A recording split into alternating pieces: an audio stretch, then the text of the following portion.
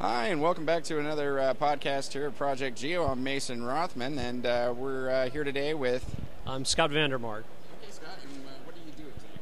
Um, I'm the Executive Vice President of Sales, Marketing, and Business Development for Wiser Company. Okay, and uh, what exactly does Wiser do, and why are they here at GeoInt? Well, Wiser is an information technology company. Uh, we do a number of things for the government, for the DoD. In particular, uh, we provide geospatial data production services. We uh, provide analytical services, FTEs, to uh, support a number of government agencies, both here in the United States as well as abroad. And uh, we also do information technology solutions development work as well. Well, it sounds like you're pretty quite uh, quite diverse, actually, in, in all the roles that you guys fill. what do you guys do with analytics specifically? Well, it's actually um, interesting that you say that. Today we're actually doing a product launch for a new piece of software called GeoUnity. And GeoUnity is a is um, it explores. It's a prototype. It was designed primarily to explore the nexus of not just place but time. So looking at data feeds such as Twitter or other types of data feeds that that have a place associated with them, but looking at that nexus between place and time and how those those those factors together expose other greater pieces of information. So this is kind of a almost a multi-int uh, approach, is what you're doing here. You're taking multiple things and putting them together to tell, I guess, the Paul Harvey rest of the story of what's going on. Yeah, absolutely. And in fact, we took a little bit different approach. Uh, myself, I came from a, an, intelligence analysis background.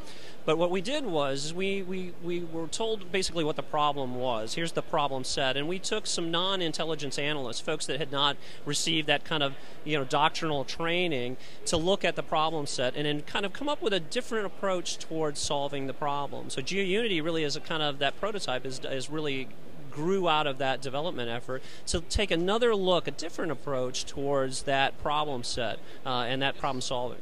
I love when I hear about these things, and this isn't the first time I've heard about this uh, at the GeoInt conference, but they literally, some of these companies take and just fresh folks off the street, or they'll sequester some folks off the side and say, what kind of solution will you come up with to this problem? So, bravo to you guys. Uh, any other new products that you guys are showing off here at the uh, the conference?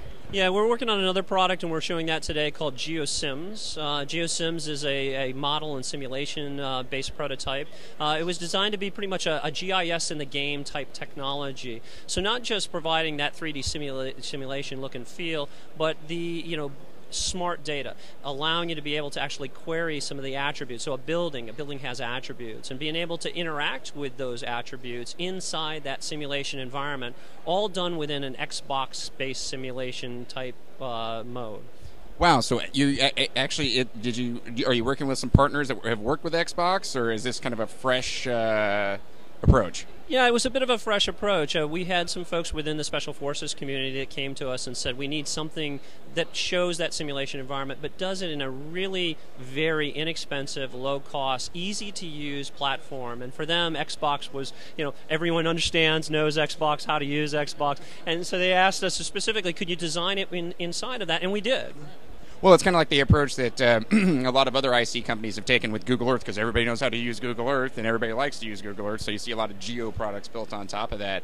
Um, well, uh, I think we're going to go ahead and wrap up here. But uh, it was nice to meet you today, and thanks so much for giving us a, a short overview of what exactly you guys are uh, bringing here. And I also want to plug for these guys. They have a very strong Twitter presence, uh, and we've seen tons of tweets come from them today. And in fact, over at the YPG booth, I think they're number five or six uh, for the most tweets. the, the company most mentioned on tweets today. So uh, once again, uh, Mason Rothman, and uh, we'll see you soon.